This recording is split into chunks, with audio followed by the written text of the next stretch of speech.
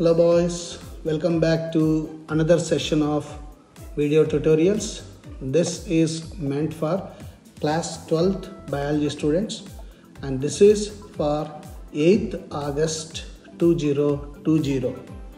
As usual, our memory helps us in tracing out what we have studied in our previous sessions.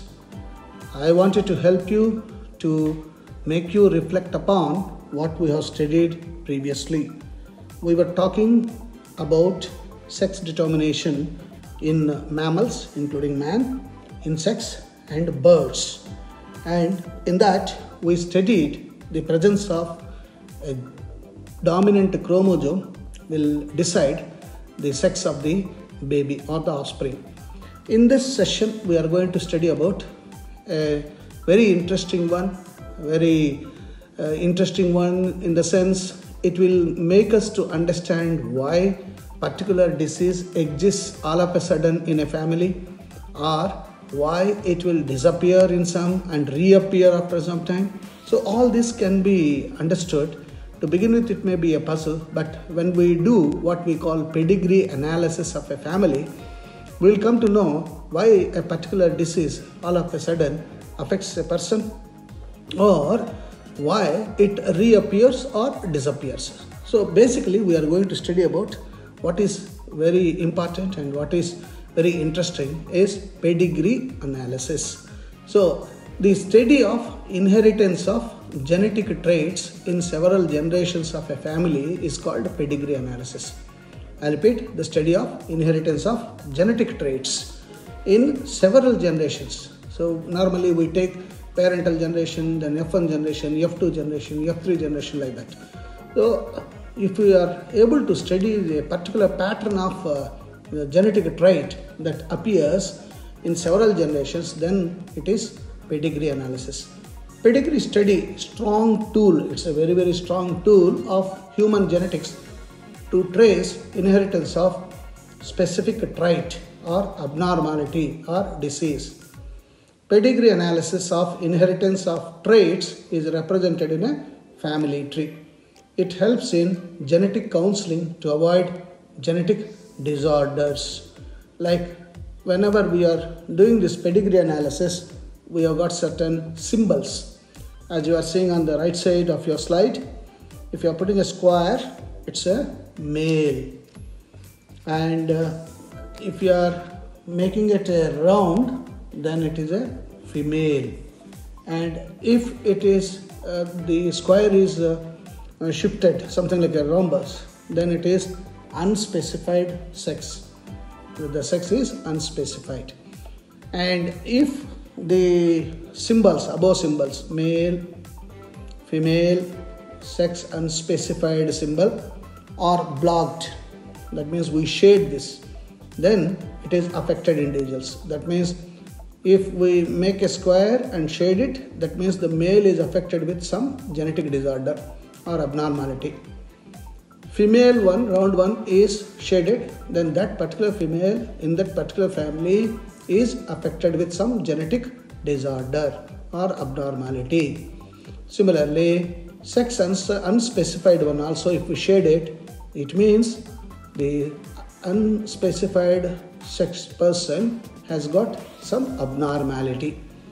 And when uh, we put a square and a round, join both, it means it is mating. There is a intercourse between the two.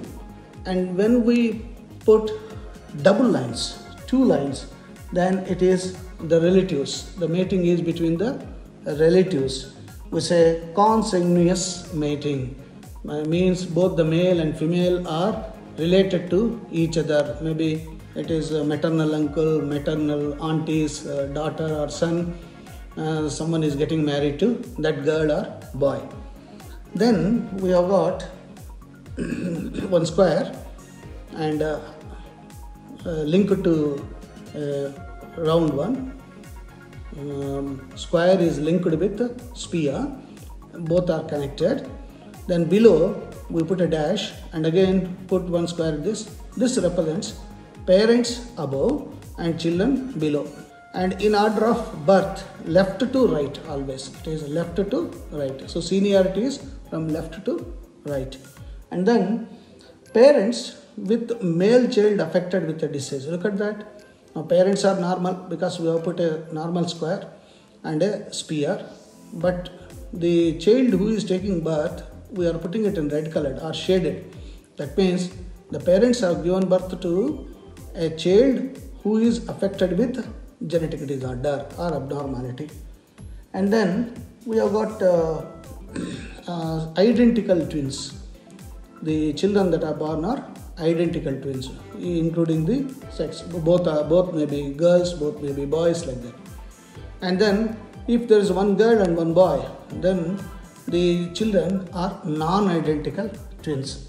Similarly uh, we may put uh, say the unaffected ones numbering let's say we put a square and uh, we say 5 6 or 3 4 that means that many children are there. Offsprings are we are counting with 4 5 like that. And one more is there. If you put a round one sphere and then half shade it then it is a carrier. Or you may put a dot then it is a carrier. So pedigree analysis what is the use of it? Pedigree analysis is useful in many ways like it helps to fill up the possible genotypes. We can write the genotype like we are writing now in monohybrid cross dihybrid cross we have been writing it uh, like uh, in dihybrid class we said t1 t1 like that. And similarly we were writing it as capital T small t. And uh, small t small t. This is how we were writing the genotype. And whenever we were writing a genotype the genotype is allowing us or letting us know the possible phenotype. When we wrote capital T capital T it is pure tall isn't it? Small t small t pure dwarfism dwarfness shortness and when we write heterozygous heterozygously capital T small t still it is as tall as capital T capital T but it is not pure. It is hybridized. So the when we write this pedigree analysis we will understand the possible genotypes and thereby we can know the phenotype also.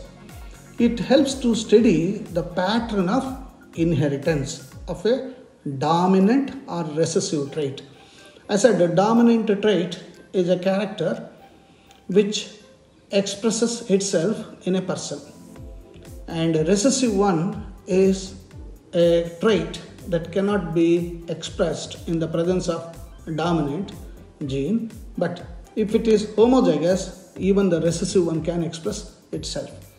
So it helps us to study the pattern of inheritance. What is the way in which the gene that is causing a particular genetic disorder is coming out in a family. Or absence of a particular gene may also cause particular disease abnormality. So we'll be studying a lot many diseases mendelian as well as chromosomal if a particular gene is missing on a particular chromosome what are the various diseases that will come to that family?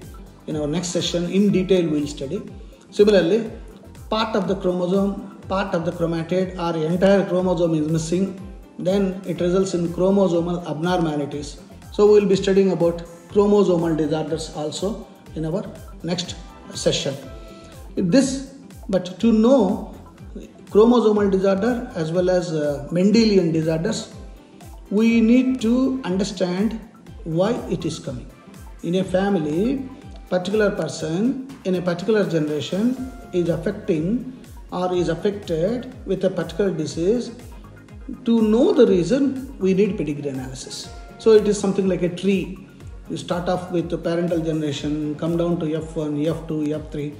Then we trace out right from, yeah, let's say F2 to go back to parental generation, grandparents' generation. Then we understand a particular gene is missing in that family.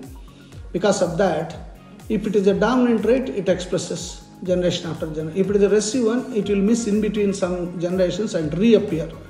So this is how we understand a particular abnormality, genetic abnormality through pedigree analysis. The possible genetic makeup of a person for a trait can also be known with the help of pedigree. So, we can also know the genetic makeup of that particular person. So, we can understand all this uh, through pedigree analysis. And an open and clear symbol represents the absence of a trait. Suppose it is not shaded, the symbol is not shaded, then it means it is a the, the person is not having any abnormality. So genetic disorders can be grouped into two categories. There are Mendelian disorders and chromosomal disorders. So the Mendelian disorders are transmitted from one generation to the next following Mendel's principles of heredity. Inheritance of Mendelian disorders can be represented in pedigree charts.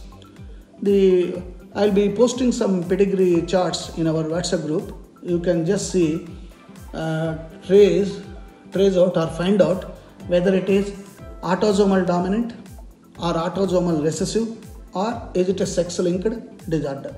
I'll be posting all the three pictures in our group. You can uh, just trace out why a particular male or a female is suffering with a genetic disorder.